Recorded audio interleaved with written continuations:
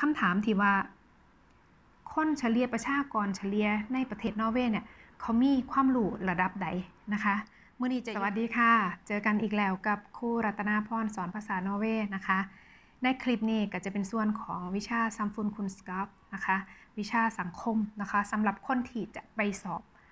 เพื่อขอพาสปอร์ต norsk หรือขอสัญชาติ norsk ที่จะต้องใส่ผลสอบของวิชา samfunn หรือวิชาสังคมนะคะ อันนี้เจ้าของกะเพิ่งได้รับคำตอบว่าเจ้าของผ่านในส่วนการสอบก็เลยมั่นใจนะคะว่าในสิ่งที่เจ้าของฮู้ในสิ่งที่เจ้าของอ่านก็ควรจะนำมาเผยแผ่แล้วก็มาแบ่งปันให้ทุกๆคนที่กำลังจะสอบ แล้วก็ขอพาสปอร์ตของนอร์เวย์หรือขอสัญชาตินะคะ ถึงว่า จะบ่ตรงที่สุดแต่ก็ขอให้เป็นแนวทางหรือว่าเป็นประโยชน์ต่อคนที่จะนำไปใส่นำไปอ่านนะคะสำหรับคนที่อ่านได้หลายแล้วเนี่ยก็จะบ่ห่วงนะคะหรือบ่เป็นอย่างนะคะ ถ้าสมมติว่าคลิปใดที่เออฉันรู้แล้วขามไปได้เลยนะคะบ่มีปัญหา แต่ว่าถ้าคิดอันนี้ในส่วนของเจ้าของกระจินเน้นสำหรับคนที่ยังอ่านภาษานอสพอแข็งแรงนะคะแล้วก็มีคำศัพท์ ในพวกวิชาการหรือว่าคำศัพท์อีกอย่างนี้ค่อนข้างหน่อยอยู่นะคะ ก็เลยจะมาอธิบายซาซานะคะซาซาแล้วก็เขียนแล้วก็อ่านไปนํกันนะคะ บางคลิปอาจจะเป็นภาษาอีสานแล้วก็บางคลิปอาจจะเป็นภาษาไทยนะคะ ถ้าเกิดว่าผู้ใดบ่เข้าใจภาษาอีสานก็ให้เขียนคอมเมนต์ไว้ใต้คลิปนะคะ เพื่อจะได้ไปปรับปรุงในคลิปหน้าเนาะมื่อนี้จะยกตัวอย่างนะคะมื่อนี้จะยกตัวอย่างง่ายๆเอ่อ เอ่อได้หัวข้อนี้ก็คือเกี่ยวกับทางด้านการศึกษานะคะ ระบบการศึกษาของประเทศนอร์เวย์นะคะ ประเทศนอร์เวย์ถือว่าเป็นประเทศที่มี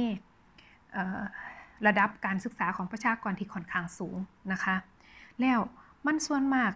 ที่เฮาจะเน้นไปได้เรื่องข้อสอบเลยเนาะ ข้อสอบแล้วก็เป็นความรู้ในส่วนโตนำนะคะ ก็คือมันจะมีคำถามที่ว่า คนเฉลี่ยประชากรเฉลี่ยในประเทศนอร์เวย์เนี่ยเขามีความรู้ระดับใดนะคะมื่อนี้จะยกตัวอย่างประโยคหนึ่งที่เขาบอกว่าเขาถามว่า คนผู้ใหญ่นี่นะคะผู้ใหญ่ผู้ใหญ่ที่ทำงานหรือว่าอีกอย่างแล้วเนี่ยคนที่มีอายุแล้วก็หรือว่าผู้ใหญ่แล้วนี่อยู่ในประเทศนอร์เวย์มีความรู้สูงขนาดใด นะคะหรือว่าคิดเป็นจักเปอร์เซ็นต์นะคะอันนี้ถ้าเป็นแปลพันภาษาไทยก็คือ ประชากรของประเทศนอร์เวย์นะคะมีระดับการศึกษาที่อยู่ในระดับสูงนะคะประมาณ 30%ของประชากรทั้งเบิด 30%ของประชากรทั้งเบิด จะมีความรู้อยู่ในระดับสูงนะคะซึ่งเขาเขียนเป็นภาษานอสได้ดังนี้นะคะ เอาที่แปลตรงๆเลยเนาะเขาบอกว่า omtrent 30% av voksne i Norge har høyere utdanning อ่านอีกเครือนะคะ omtrent 30% av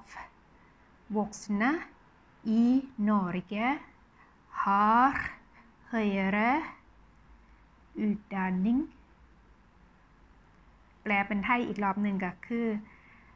ค่าเฉลี่ยของคนที่เป็นผู้ใหญ่แล้วนะคะ ประชากรที่เป็นผู้ใหญ่แล้วประมาณ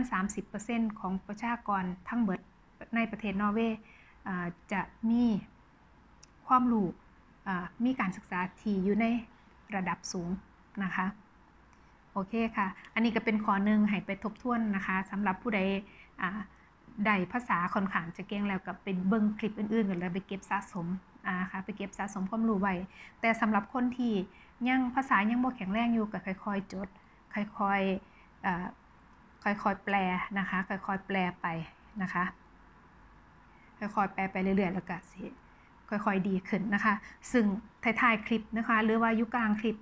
ถ้าสมมติว่าบลืมน็อตตอนนี้ก็ติดติดขัดขัดอยู่ก็สิพยายามจะเขียนคำศัพท์ คำศัพท์เป็นภาษานอสแล้วก็คำอ่านเป็นภาษานอส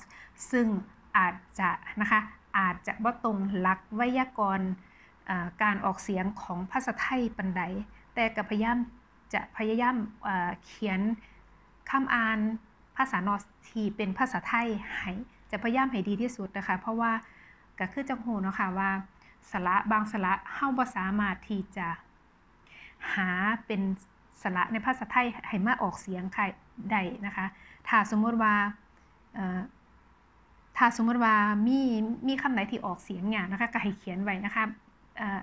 เจพยายามรวบรวมไว้นะคะรวบรวมรวบรวมรวบรวมไว้แล้วจะเห็นคลิปวิดีโอขึ้นมาต่างหากว่าคำนี้ออกเสียงว่างใดคำนี้ออกเสียงว่างใดนะคะเพราะว่าคือจังหวานะคะ ภาษาภาษานอสบ่ได้ง่าย แต่ว่ากับบ่ได้ยากเกินความสามารถของเฮาเพิ่นเว้าได้เฮาก็เว้าได้คือกัน โอเคค่ะ คลิปนี้เว้ายาอีกละอ่าเจอกันใหม่ในคลิปหน้านะคะ ถ้าเห็นว่าคลิปนี้มีประโยชน์สำหรับเพื่อนนะคะสำหรับคนที่คุณหูจักหรือว่าคนที่กำลังเรียนภาษานอส หรือคนที่กำลังจะสอบวิชาซัมฟุนคุณสกับหรือวิชาสังคมเนี่ยนะคะก็ส่งแชร์ส่งไปให้มูเบิงได้นะคะด้วยความยินดีถ้าเกิดว่ามีอย่างมีการแชร์ประสบการณ์ หรือว่ามีตัวอย่างในการขอสอบ หรือว่ามีตัวอย่างในห้องเรียนอีกอย่างสินะคะ ก็สามารถมาแชร์แต่ลิงก์นี้ไว้นะคะจะขอบคุณเป็นหลาย ๆ นะคะหักกันต้องซอยกันนะคะ ขอให้มีความสุขกับการอยู่ประเทศนอร์เวย์แล้วก็ขอให้มีความสุขในการเรียนภาษานอร์เวย์นะคะฮาเดฮาเอ็นฟินดา